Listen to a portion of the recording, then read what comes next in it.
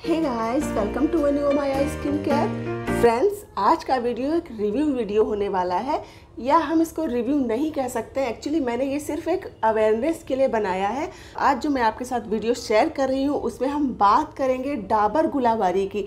जी हाँ मेरी तरह आप लोगों में से ज़्यादातर लोगों ने इसका कभी ना कभी इस्तेमाल ज़रूर किया होगा, और कुछ लोग रेगुलर इस्तेमाल कर रहे होंगे. बचपन से अपने घर में इस्तेमाल होते देखती आई हूँ तो हमारी एक साइकोलॉजी बन जाती है कि हम इसको बचपन से इस्तेमाल कर रहे हैं, हमने बड़ों को इस्तेमाल करते इसको देखा है तो ये फिर कहीं ना कहीं इसमें कोई प्रॉब्लम नहीं होगी, ये काफ़ी अच्छा होगा और इतनी ज़्यादा अफोर्डेबल प्राइस में मिल रहा है तो फिर प्रॉब्लम क्या है? सेम साइकोलॉजी मेरी भी थी बट जब मैंने इसके इंग्रेडिएंट पढ़े, जो कि इसके पीछे मेंशन हुए और पूरे इंग्रेडिएंट भी इन्होंने नहीं दिए हुए हैं, तब मुझे लगा, यार, ये गुलाबारी तो है ही नहीं मीन्स ये गुलाब जल तो है ही नहीं।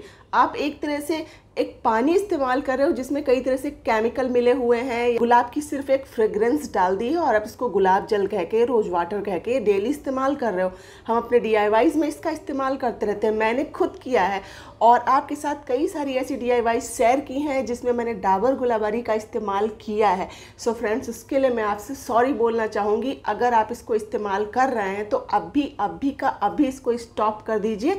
मेरी स्किन एक्सेस सेंसिटिव है। जब मैं इसको एज ए टोनर फेस पे अप्लाई करती हूँ तो मुझे काफ़ी ज़्यादा प्रॉब्लम होती थी मीन्स कभी कभी इचिंग होने लगती थी या कई बार छोटी छोटी फुंसियाँ हो जाती थी।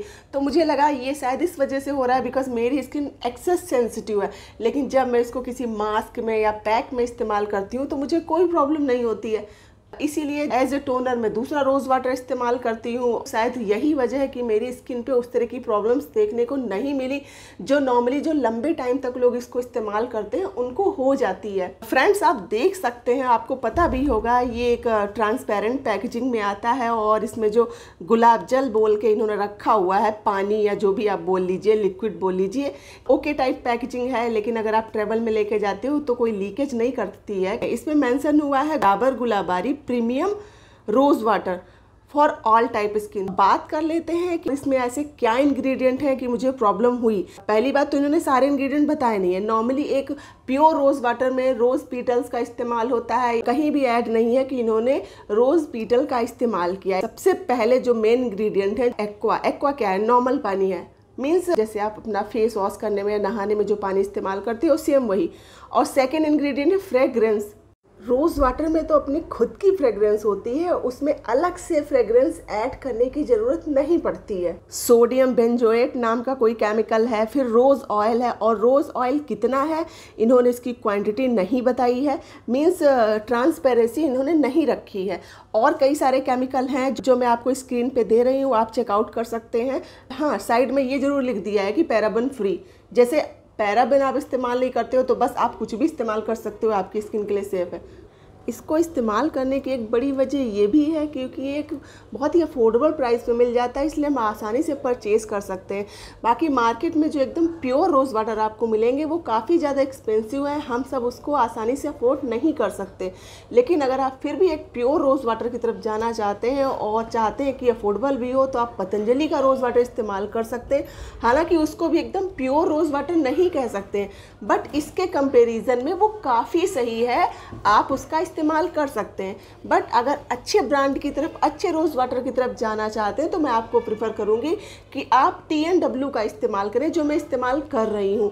बाकी आपकी चॉइस है। अगर उसमें रोज़ पीटल का इस्तेमाल हुआ है और ज़्यादा कोई ताम झाम नहीं है मीन्स कई सारे इंग्रेडिएंट नहीं हैं तो आप समझ लीजिए कि वो रोज़ वाटर प्योर है और आप उसको मार्केट से परचेज कर सकते हैं। लेकिन अगर आप घर पे बना के इस्तेमाल कर सकते हैं तो बहुत ही बेहतर है बिकॉज़ उसमें कोई पैसा भी बहुत ज़्यादा नहीं लगना है और आपको प्योरिटी भी पूरी मिल जाती है। सो so फ्रेंड्स उम्मीद करती हूँ ये वीडियो आपको काफ़ी ज़्यादा हेल्पफुल लगा होगा। सो so प्लीज़ एक लाइक ज़रूर दे दीजिएगा। और अगर अभी तक आपने मेरा चैनल सब्सक्राइब नहीं किया है तो प्लीज़ चैनल को सब्सक्राइब कर लीजिए, साथ ही बेल आइकन को भी प्रेस कर लीजिए, ताकि आपको लेटेस्ट अपडेट मिलते रहें। मिलते हैं नेक्स्ट वीडियो में। अपना बहुत ख्याल रखें। Thanks for watching bye bye